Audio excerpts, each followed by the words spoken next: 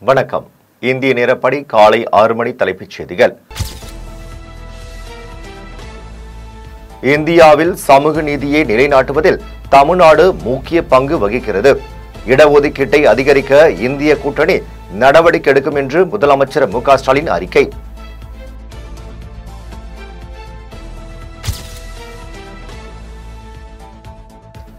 கேரளா கர்நாடகம் மராட்டியம் உள்ளிட்ட மாநிலங்களில் இரண்டாம் கட்ட மக்களவை தேர்தலுக்கான பரப்புரை நேற்றுடன் நிறைவு.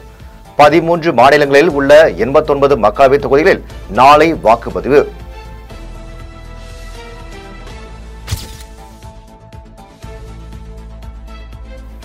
கேரளாவில் இறுதிக்கட்ட பிரச்சாரத்தின் போது கட்சி தொண்டர்கள் போட்டி போட்டு கொண்டு முழக்கங்களை எழுப்பி ஒருவருக்கொருவர் கற்களை வீசி தாக்குதல். காங்கிரஸ் கட்சி சட்டமன்ற உறுப்பினர் சி ஆர் மகேஷ் உட்பட நான்கு பேர் காயம்.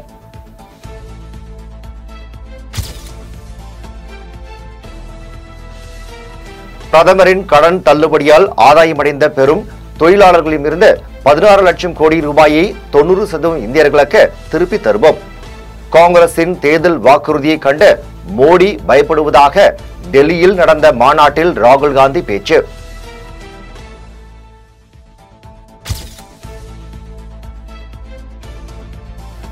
ரேஷன் அரிசி கடத்தலுக்கு ஊக்கமளிக்கும் திமுக அரசின் செயல்பாடு கடும் கண்டனத்துக்குரியது. தமிழ்நாடு வளர்ச்சி பெற்ற மாநிலமாக விளங்க வேண்டுமென்ற அக்கறை திமுக அரசுக்கு உண்மையிலேயே இருக்குமானால் ரேஷன் அரிசி கடத்தலை முழுமையாக தடுத்து நிறுத்த வேண்டும். முதலமைச்சர் மு க ஸ்டாலினுக்கு முன்னாள் முதலமைச்சர் ஓ பன்னீர்செல்வம் வலியுறுத்தல்.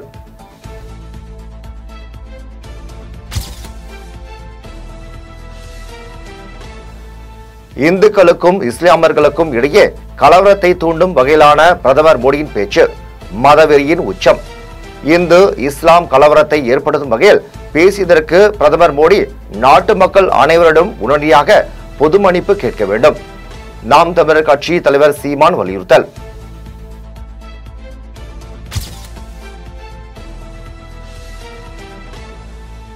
பிரதமர் மோடி தனது ரத்த அணுக்களில் ஊடுருவியுள்ள முஸ்லிம் வெறுப்பை கக்கி உள்ளார். பிரதமரின் இந்த கீழ்த்தரமான பேச்சுக்களுக்கு நாட்டு மக்கள் நாடாளுமன்ற தேர்தலில் சரியான பாடம் புகட்டுவார்கள் என்று மதிமுக பொதுச் செயலாளர் வைகோ கண்டனம்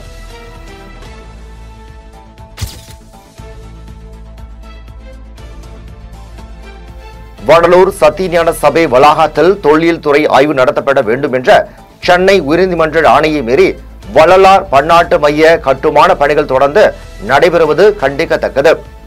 வடலூர் சத்தியஞான சபையில் உயர்நீதிமன்ற தீர்ப்பு வரும் வரை வள்ளலார் பன்னாட்டு மைய கட்டுமான பணிகளை நிறுத்தி வைக்க வேண்டும் என்று தமிழக அரசுக்கு பாமக தலைவர் அன்புமணி ராமதாஸ் வலியுறுத்தல்.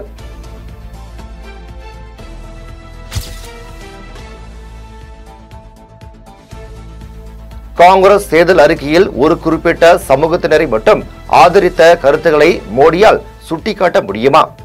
பிரதமர் மோடி காங்கிரஸ் தேர்தல் அறிக்கையை களங்கப்படுத்துவதாகவும் அவர் காங்கிரசின் தேர்தல் அறிக்கையை முழுமையாக படிக்க வேண்டும் என்று காங்கிரஸ் மூத்த தலைவர் ப. சிதம்பரம் வலியுறுத்தல்.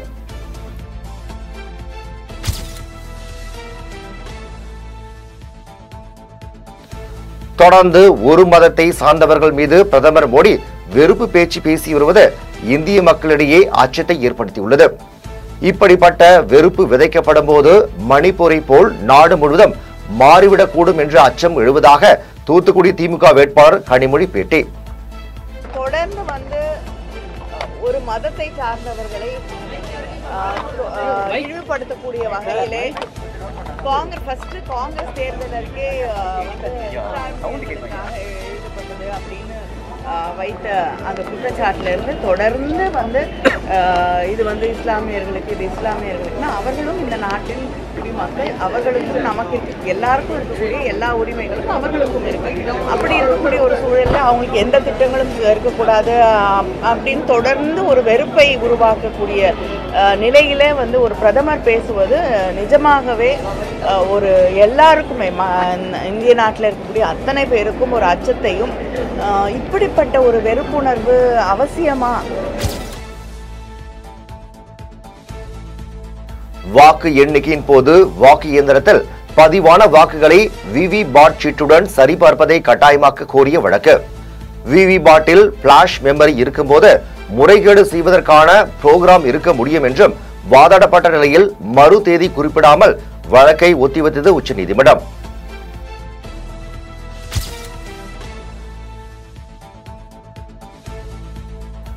தனியார் பள்ளிகளில் இருபத்தைந்து சதவீத இடஒதுக்கீடு முழுமையாக நிறைவேற்றப்படுகிறதா என்பதை கண்காணித்து உரிய தீர்வு காண வேண்டும். எந்த நோக்கத்திற்காக கல்வி உரிமை சட்டம் கொண்டு வரப்பட்டதோ அந்த நோக்கம் முழுமையாக நிறைவேற தமிழக கல்வித்துறை உரிய நடவடிக்கைகளை விழிப்புணர்வோடு எடுக்க வேண்டும். தமிழ்நாடு காங்கிரஸ் கமிட்டி தலைவர் செல்வ பெருந்தகை வேண்டுகோள்.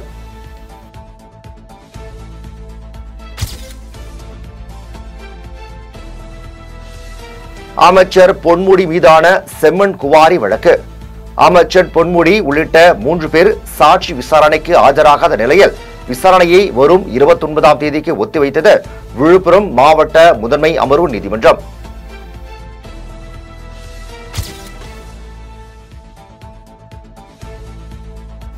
கேரளாவில் பரவி வரும் பறவை காய்ச்சல் எதிரொலி.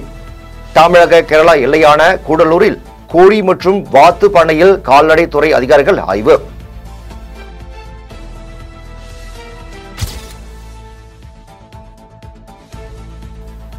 மதுரை கள்ளிக்குடி நெடுஞ்சாலையில் உர தொழிற்சாலையை நிரந்தரமாக மூடக்கோரி அதிமுகவினர் சாலை மறியல் போராட்டம். சாலை மறியல் போராட்டத்தில் ஈடுபட்ட முன்னாள் அமைச்சர் ஆர் வி உதயகுமார் உள்ளிட்ட நூறு பேருக்கும் மேற்பட்டோர் கைது.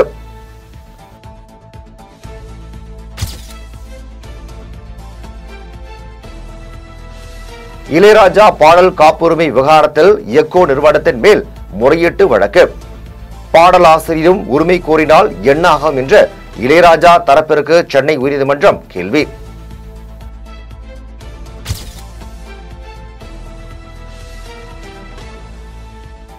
புல்வாமாவில் தியாகிகளின் மனைவிகளின் மங்கள சூத்திரத்தை பதித்தவர்கள் யார் என்று மங்கள சூத்திரம் குறித்து பேசுவார்கள் பதில் சொல்ல வேண்டும். வீரர்களுக்கு ஏன் விமானம் என்று கொடுக்கவில்லை என்று பிரதமர் மோடிக்கு சமாஜ்வாதி கட்சி தலைவர் டிம்பிள் யாதவ் கேள்வி.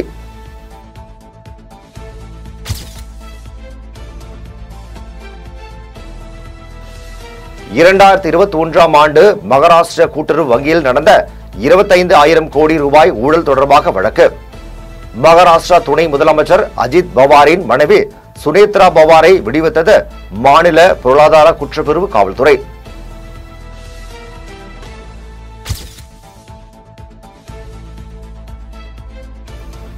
அருணாச்சல பிரதேசத்தில் கடந்த பத்தொன்பதாம் தேதி நடைபெற்ற நான்கு சட்டசபை தொகுதிகளுக்கான வாக்குப்பதிவில் அரங்கேறிய வன்முறை சம்பவம்.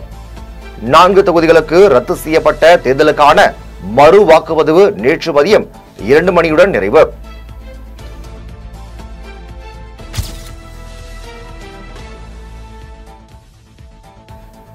தேர்வு முறைகளில் சில மாற்றங்கள் செய்து திருத்தியமைக்கப்பட்ட புதிய ஆண்டு திட்ட அட்டவணையை வெளியிட்டது டிஎன்பிஎஸ்சி குரூப் ஒன்று குரூப் இரண்டு மற்றும் குரூப் நான்கு தேர்வுகளை தவிர மற்ற தேர்வுகள் ஒருங்கிணைந்த தேர்வுகளாக நடைபெறும்.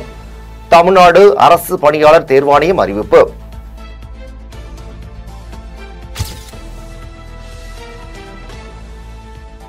திகார் சிறையில் உள்ள டெல்லி முதலமைச்சர் அரவிந்த் கெஜ்ரிவால் டெல்லி கேபினெட் அமைச்சர் சௌரப் பரத்வாஜ் இடையான முப்பது நிமிட சந்திப்பு. மக்கள் தன்னை பற்றி கவலைப்பட வேண்டாம் என்று அவர் கூறியதாகும் அவர் வலிமையானவர் என்று அமைச்சர் சௌரவ் பரத்வாஜ் தகவல்.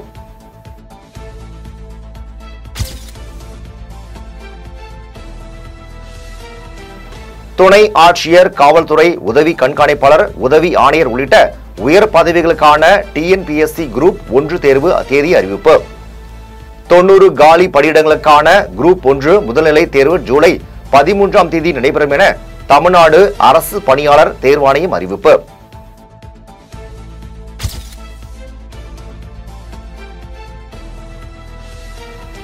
சென்னையில் கள்ளச்சந்தையில் ஐபிஎல் டிக்கெட் விற்பனை.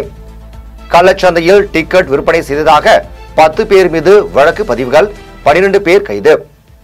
ஐம்பத்தாறு டிக்கெட்டுகளை பறிமுதல் செய்த திருவல்லிக்கேணி போலீசார் அதிரடி.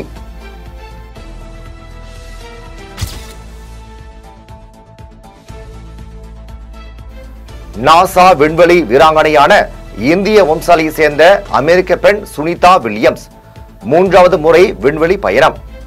சுனிதா வில்லியம்ஸ் உடன் விண்வெளி வீரர் புட்ச் வில்மோர் ஆகியோர் போயிங் ஸ்டார்லைன் விண்கலத்தில் ஏறி சென்று சுற்றுப்பாதையில் செல்லும் ஆய்வகத்தில் ஒரு வார காலம் தங்குவார்கள் என்று நாசா அறிக்கை.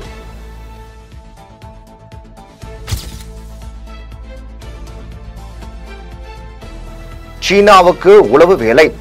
தைவானில் தந்தை மகனுக்கு எட்டு ஆண்டுகள் சிறை தண்டனை.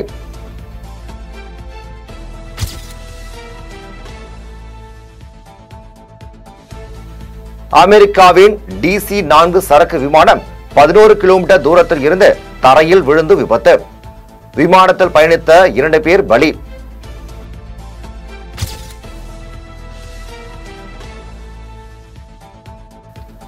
இஸ்ரேல் ஹமாஸ் இடையான போர். இனப்படுகொலை மற்றும் பாலஸ்தீன ஆக்கிரமிப்பினால் லாபம் ஈட்டும் நிறுவனங்களில் இருந்து பல்கலைக்கழக விலக வேண்டும் என்று அமெரிக்காவில் மாணவர்கள் போராட்டம் தீவிரம்.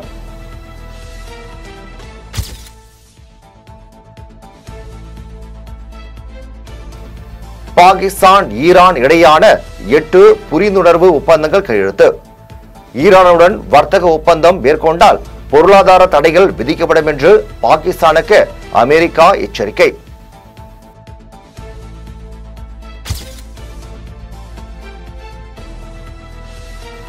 ஐபிஎல் கிரிக்கெட் தொடர். குஜராத் அணியை நான்கு ரன்கள் வித்தியாசத்தில் வீழ்த்தி டெல்லி அணி த்ரில் வெற்றி.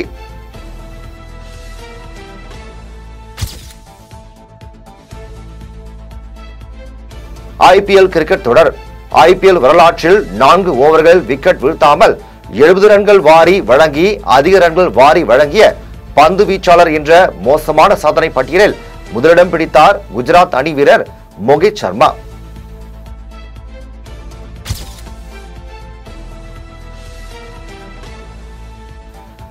கில்லி மறு வெளியீட்டின் மிகப்பெரிய வரவேற்புக்கு பின்னர் நடிகர் விஜயை சந்தித்த படத்தை வெளியிட்ட விநியோகஸ்தர் சக்திவேலன் பேச்சு.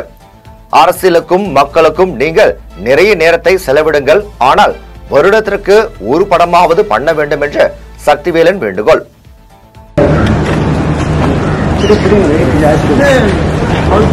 சார் ஒரு ரெக்வஸ்ட் சார். நிறைய நீங்க அரசியலுக்கும் மக்களுக்கும் டைப் பண்ணுங்க வருஷத்துக்கு ஒரு படமாவது ஒரு ஒரு படமாவது பண்ணுங்க.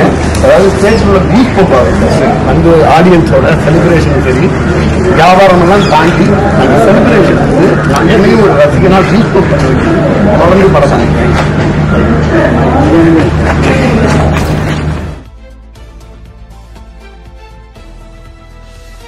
நடிகர் சிவகார்த்தியின் தயாரிப்பில் கமல் கண்ணன் இயக்கத்தில் உருவாகும் திரைப்படம் குரங்கு பெடல். இத்திரைப்படம் வரும் மே மாதம் மூன்றாம் தேதி வெளியாகும் என்று படக்குழு அறிவிப்பு.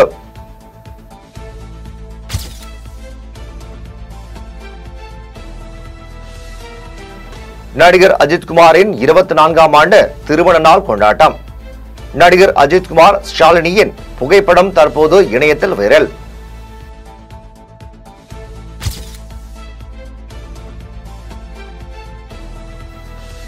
சென்னை எம்ஜிஆர் நகர் ஜெயம் ரவி ரசிகர் மன்ற தலைவராக இருந்த ராஜா என்பவர் உடல்நலக்குறைவால் உயிரிழந்தார். உயிரிழந்த தனது ரசிகரின் வீட்டிற்கு நேரில் சென்று நடிகர் ஜெயம் ரவி ஆறுதல்.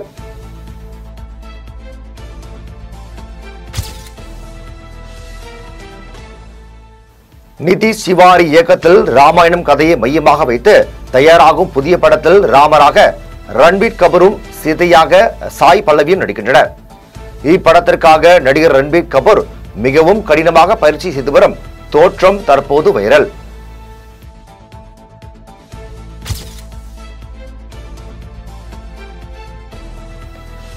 சென்னை அணியின் வேகப்பந்து வீச்சாளர் துஷார் தேஸ்வாண்டா நடிகர் அஜித்தை சந்தித்து பேச்சு. புத்திசாலித்தனமும் எளிமையும் நிறைந்தவர் அஜித் என சமூக வலைதள பக்கத்தில் துஷார் தேஸ்வாண்டே பதிவு.